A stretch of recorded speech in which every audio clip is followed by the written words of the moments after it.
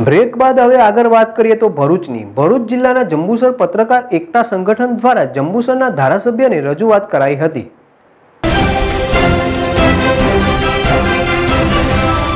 જંબુસર પત્રકાર એકતા સંગઠન જંબુસર દ્વારા જંબુસરના ધારાસભ્યને રજૂઆત કરાઈ હતી. ગુજરાતના પત્રકારોની વેદના અને સરકારી વ્યવસ્થામાં ઊભી થયેલી વિકટ પરિસ્થિતિ અંગે ધારાસભ્ય જંબુસર સંજયભાઈ સોલંકીને લેખિત આપી રજૂઆત કરી.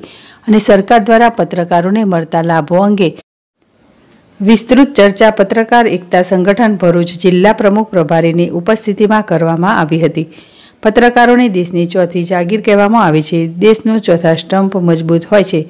પ્રદેશની પ્રગતિ અને જન સમસ્યાઓ સરકાર કે નેતાઓ સુધી અને સરકારે કરેલા કાર્યોને જનતા સુધી પહોંચાડતું માધ્યમ મજબૂત બનશે.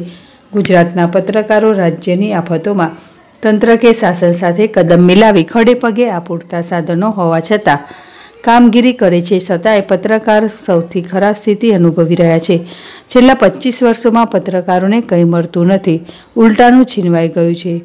પત્રકારોની વેદના અને વ્યથામાં પચીસ વર્ષ પહેલાં સાપ્તાહિક અખબારોને વર્ષે પંદર સરકારી જાહેરાતો મળતી હતી. તે હવે પાંચ કે સાત પૂરતી સમિત છે. જાહેરાતોના ભાવમાં મોંઘવારી પ્રમાણે વધારે મળતો નથી. માહિતી વિભાગ દ્વારા પત્રકારોને વર્ષે ઐતિહાસિક સ્થળના પ્રવાસ કરવામાં આવતો હતો, જે ઘણા વર્ષોથી બંધ છે. પત્રકાર કોલોની માટે ટોકન દરે પ્લોટ અને મકાન સહાય પણ આપવામાં આવતી હતી, જે આજે બંધ છે. સાઠ વર્ષ પછી નિવૃત્તિ પેન્શન સહાય, જે વર્ષો જૂની વણ ઉકલી માગણી છે. પત્રકારના પરિવારનો અમૃતકાળના બદલે આયુષ્યમાન ભારત યોજનામાં જોડાવા પત્રકારને મૃત્યુ સમયે તેના પરિવારને દસ લાખ રૂપિયા સહાયની વર્ષો જૂની માંગણી ફોટોગ્રાફર કે કેમેરામેને એક્રેડિશન કાર્ડ મળે, આ સહિત પત્રકાર સુરક્ષા કાનૂન બનાવવામાં આવે.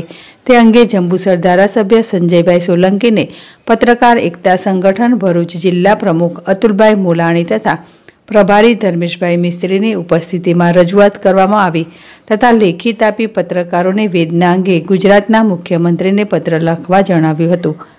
ધારાસભ્યને રજૂઆત કરવા જંબુસર તાલુકા પ્રમુખ નિખિલભાઈ જાની, જિલ્લા ઉપપ્રમુખ ફિરોજ દિવાન, જિલ્લા મંત્રી રફીક મલિક તથા સહમંત્રી સલીમ પટેલ હાજર રહ્યા હતા. યાકુબ પટેલ, જેડેશ ટીવી ભરૂચ.